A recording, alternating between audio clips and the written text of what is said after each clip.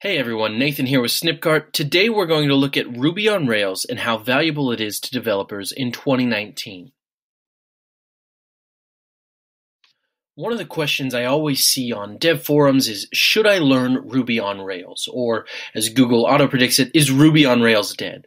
Now we're not going to spend any time on that second question, is Ruby on Rails dead? Because it's not. It's not even a little bit dead. It's thriving. It's got an awesome community. Uh, the the gem libraries are constantly growing and they're consistently making improvements. So at the end, we'll even throw in um, a link to their 6.0, which is coming out in just a, a few days here. But that first question is a little more tricky. Should you learn Ruby on Rails? Now, that's tougher to answer because it really depends on your interests and your goals as a developer. So today we're going to look at four things. We'll look at what is Ruby on Rails, the three cornerstone features of Ruby on Rails. We'll look at its overall value, and then we'll see some really good examples of companies that have used Ruby on Rails to be very successful and build great sites. So what is Ruby on Rails, or as it's commonly referred to as just Rails? Rails is a server-side web application framework that's written in Ruby. Now, if you're new to Rails, let's make this very clear right now. Ruby and Rails are not the same thing. Ruby is the language, and Ruby on Rails is the framework. They're very, very different. And there's three components to Ruby on Rails that make this very, very advantageous to a developer. So let's take a look at the first of those three. The first feature of Ruby on Rails is Model View Controller. This is an architecture that helps developers reuse code and also work on parallel development. So essentially, the software gets divided into three parts. You have the model, the view, and the controller. But these three components are decoupled, which allow developers to work on separate parts at the same time. It means that building an application is super efficient for teams, and it also means that you can reuse code in other applications. So let's take a quick look at how that would work through a diagram.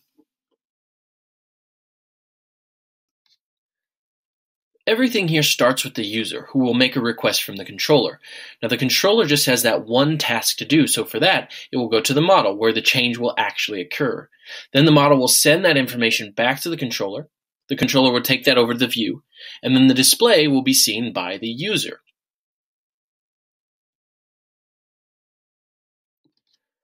Now there's two big advantages to developers using this type of architecture. The first is reusable code. So because the controller just has one specific action to perform, that independent component can be used and pulled into another context. It can be integrated into something else. Also, because these three components are decoupled, because they're separated, you can also have different parts of a team working on different sections at the same time. Both of these, the reusable code and parallel development, are huge time savers.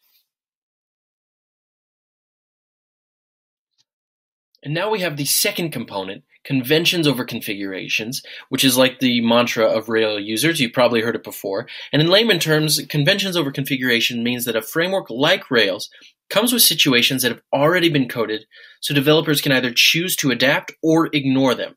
Basically, it means that there are pre-built features that come stocked and out of the box, so that developers don't need to configure everything from scratch. So, for instance, just a, a quick analogy, uh, the airplane that you see, my dad built this in our garage. And I know it's absolutely crazy, um, but he didn't just go to the hardware store and buy each individual part for the plane. It's an RV8, so different parts of the plane came in kits. So he has all of these pieces, and some of it he's building from scratch, but some of it he's not.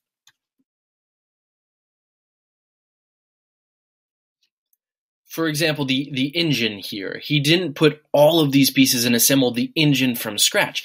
That part came pre-built, and then he installed it into the plane. However, certain parts he did do from scratch, like the wiring, the electrical. He had to work on the ailerons, at least he tells me. I don't know what that is. But there were certain parts that came pre-built, and then certain parts he had to do from scratch. Ruby on Rails is the same type of thing, and this is how we use conventions over configurations. You have some pre-built options, but you can also tinker on the hood if you want to.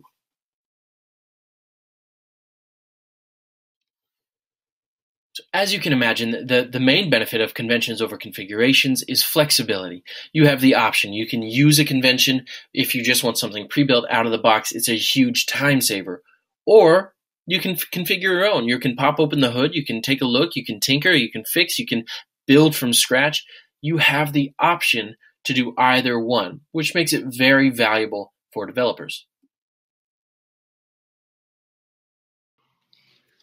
Lastly, we have don't repeat yourself or dry. This is just keeping code as simple and unrepetitive as possible. The basic principle here is don't unnecessarily repeat code. So I'm actually going to use an example from Corey Schafer's video on YouTube, his, his uh, explanation of dry. It's very good. We'll add the link either in the comments or directly on the video. And you can go check that out in a little bit more detail. But here's the basic premise. Let's say that you have a homepage, services, pricing, and contact. And you've got a, a header on all of those pages, but you want to change that header on each of those pages. Well, rather than going and changing the header on the homepage, and then changing the header on the services, and then changing the header on the pricing, and then changing the header on the contact, very, very repetitive, the idea is to centralize that piece of code to change it on all of those pages, so you just have to change it once. So let's see what that would look like.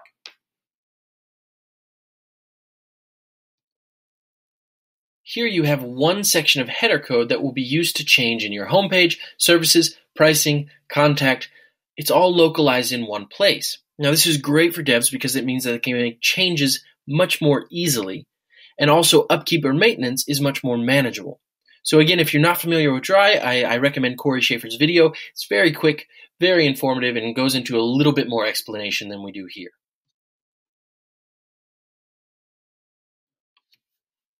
So again, these three components, MVC, conventions over configuration, and dry, aren't unique to Rails, but the three together work very powerfully in Rails when combined. So I can already hear people saying, you know, yeah, but this framework has those two, or that framework can do X, Y, Z without dry.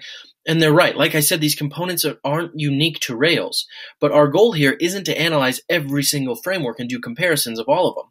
Our goal here is to just see the value of Rails, which is what we're about to do. So here are the six advantages of Rails that make it very valuable to devs in 2019.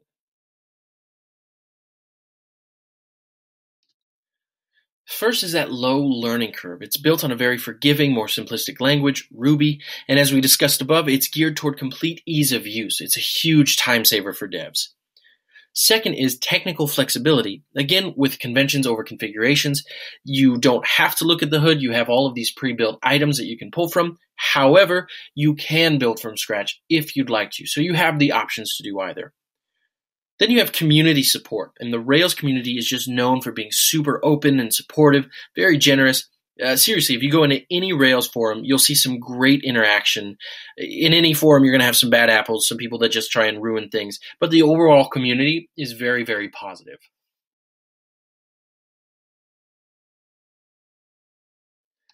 Next, we have gems, and, and due to the thriving community, there are tons and tons of gems to pull from. Uh, they're pre-configured apps that you can plug into your site, just like you use a plugin on WordPress. Uh, but you have so many, so many options to pull from. Again, we'll put a link at the end where you can get those. And if you have a problem running or installing these, you have that community support there to help you out. Also, Rails is still a super marketable skill to have. If you check any job forum, you'll see there are still a lot of companies searching for Rails developers. So you have that low learning curve combined with the high demand, which makes Rails very, very, very appealing to up and coming developers. And despite popular belief, it is scalable. I know Twitter moved platforms uh, back in 2009, but a lot has changed in the last decade doesn't mean Rails isn't scalable anymore. So we're about to check out some examples of companies that did scale just fine with Rails. It's still their central framework. They had to get creative in a few different ways on their front end um, with some back end support, but let's take a look at those examples now.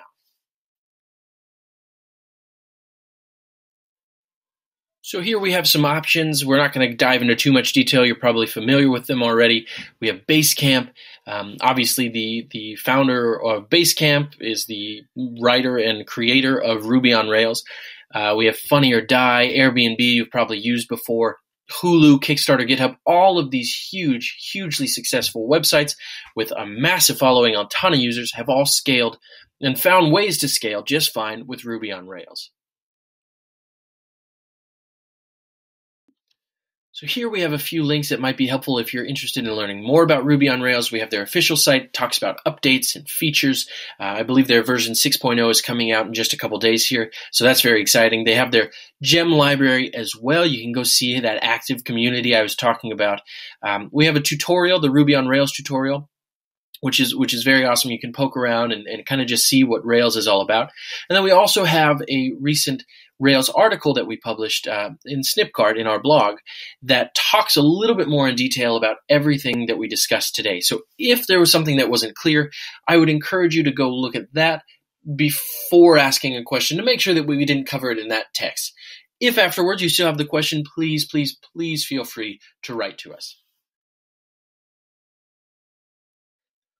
Thanks so much for taking the time to watch this presentation. If you like it, please pass it along to your friends via, you know, Facebook, Instagram, Twitter, all those usual suspects. Uh, and if you love something about Rails that we didn't mention, leave us a comment. Go ahead and let us know what you love about Rails or what you don't. We love having this kind of conversation, and we would encourage you to leave us comments or questions below. Thank you so much, and we look forward to hearing from you.